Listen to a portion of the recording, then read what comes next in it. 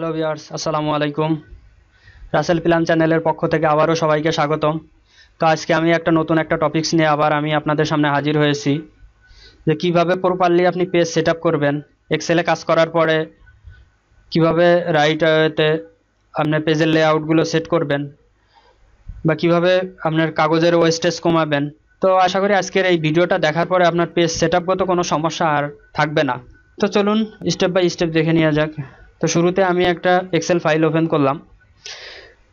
তো ওপেন করার পরে আপনি দেখবেন যে আপনার একেবারে টপে কুইক অ্যাক্সেস টুলবার থেকে কুইক প্রিন্ট প্রিন্ট প্রিভিউ এই দুইটা অপশন এখানে আছে কিনা। যদি না থাকে তাহলে এখানে আপনি ক্লিক করে এটা নিয়ে আসবেন। প্রিন্ট প্রিভিউ থেকে আপনি পেজটা কীভাবে আছে এটা দেখতে পারবেন। তো আপনি দেখতে পাচ্ছেন যে আপনার পেজ সেটআপ এখানে ঠিক নাই। তো পেজ সেটআপ কীভাবে দিবেন? আমি দেখাচ্ছি আপনাদেরকে স্টেপ বাই স্টেপ তো আগে আমি শুরুতে কিছু অপশন আমি আপনাদেরকে প্রথমে দেখাবো। এখানে ফাইল থেকে ফাইল থেকে প্রিন্ট এখানে বিভিন্ন অপশন আছে। আপনি কতগুলো কপি প্রিন্ট দিতে চান? দেন হচ্ছে পেজেস কত পেজ থেকে কত পেজ আপনি প্রিন্ট দিবেন।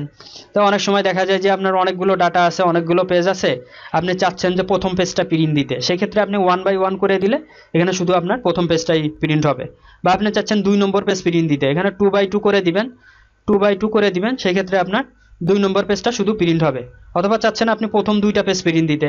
যেহেতু আপনার অনেকগুলো পেজ আছে, আপনি চাচ্ছেন যে প্রথম দুইটা সেটা ওয়ান টু টু করে দিবেন।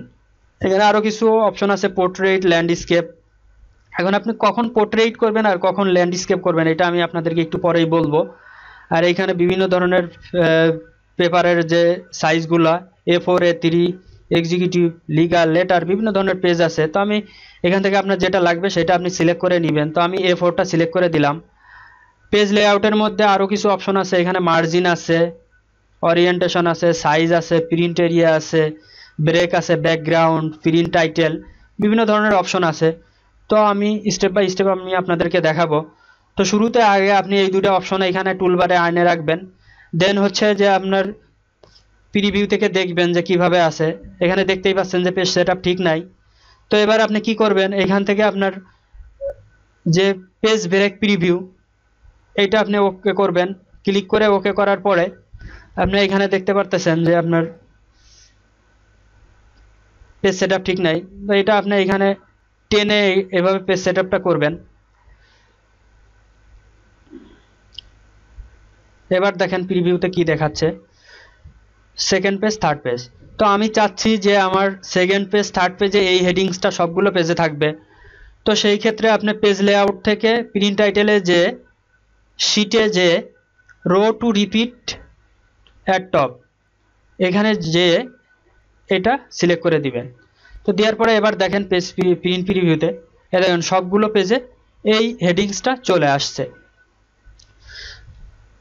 তো আপনার পেজ লেআউটের প্রিন্ট টাইটেলে পেজ সেট আপে আরও কিছু পেজে এখানে ডাউন দেন ওভার আছে, এখানে কিছু অপশন আছে, এগুলো আপনি দেখলে বুঝবেন যে কীভাবে প্রিন্টগুলো হবে।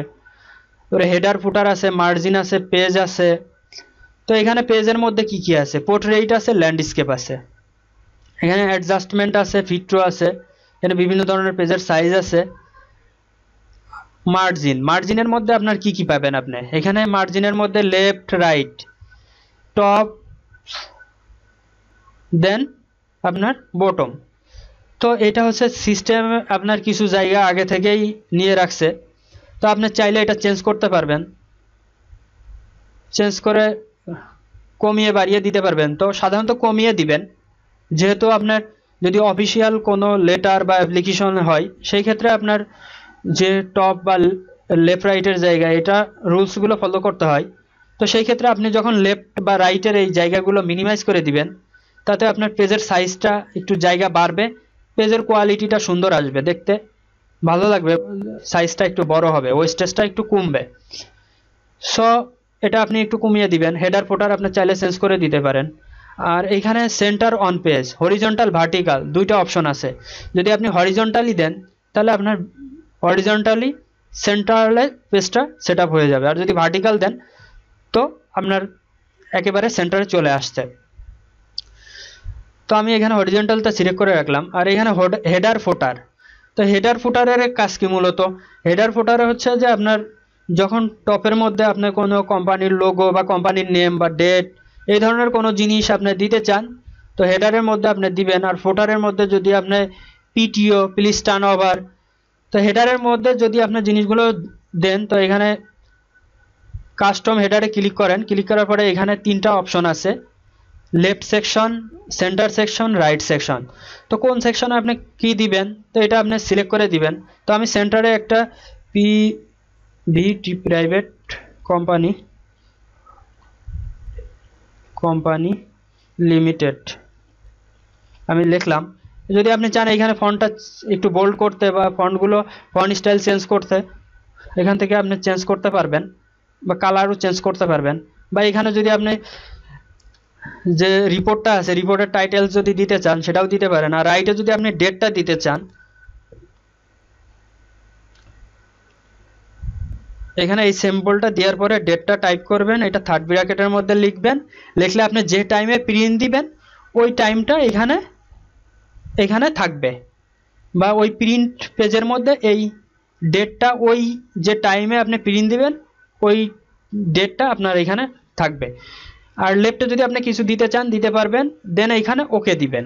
তো হেডার ফোটারের যে অংশগুলো, যে জিনিসগুলো আপনি টাইপ করবেন বা যেটা লিখতেছেন, এটা আপনার মেন পেজে থাকবে না।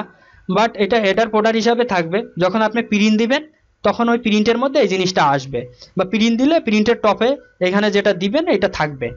তো এখানে আমি ওকে দিয়ে দিলাম। এখান থেকে ফোটার থেকে আপনি চাইলে কিছু দিতে পারেন। তো আমি এখানে পি টি ও দিলাম প্লিজ টার্ন ওভার দিলাম, দেওয়ার পরে ওকে করলাম। তো দেখ, এখন আমরা প্রিভিউতে চলে যাই। দেখেন এইখানে কোম্পানির নাম আর ডেটটাও চলে আসছে।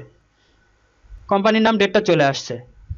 কিন্তু এইখানে আমার মেন পেজে কিন্তু শো করতেছে না বাট এটা কিন্তু আমার হেডারে আছে। এবং পিটিও এটাও কিন্তু আমার ফোটারে আছে, কিন্তু মেন পেজে শো করতেছে না। তো এটা গেল একটা।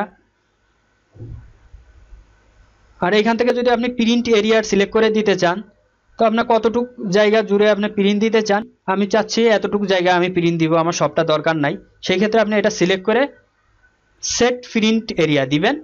তো দেখেন, এই জিনিসটা আমার হয়ে গেছে সেট তো এখন আমার প্রিন্ট দিলে শুধু এইটুকুই প্রিন্ট হবে।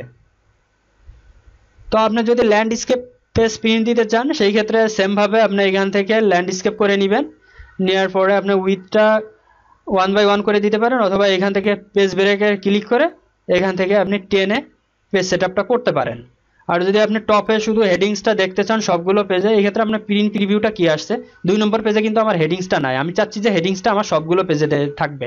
তো সেই ক্ষেত্রে আপনি প্রিন্ট টাইটেলস থেকে page set sheet row to repeat at top এটা ক্লিক করে আমি ওকে করে দিব। দেখেন এখন সবগুলো পেজে আমার ওই হেডিংটা চলে আসছে। তো আমি যদি চাই হেডার ফুটারে আমার কোম্পানির লোগো বা কোম্পানির নাম বা আমার রিপোর্টের টাইটেল দিতে চাই, সেই ক্ষেত্রে আমি এখানে হেডার ফুটারে যে কাস্টম এডারে যাই আমি এখানে সেন্টার আমি যেটা প্রিভিয়াসটা আমি আপনাদের একটু আগে যেটা দেখাইলাম, এখান থেকে। আবার রাইটে যদি আপনি ডেট দিতে চান, তাহলে অ্যান্ড দিয়ে থার্ড ব্রেকের মধ্যে ডেটটা বা অ্যান্ড দিয়ে থার্ড ব্রেকের মধ্যে টাইমটা লিখলে যে টাইমে প্রিন্ট দিবেন, ওই টাইমটা চলে আসবে এখানে অটোমেটিক তো প্রিন্ট নিয়ে এই ছিল মূলত কথাবার্তা।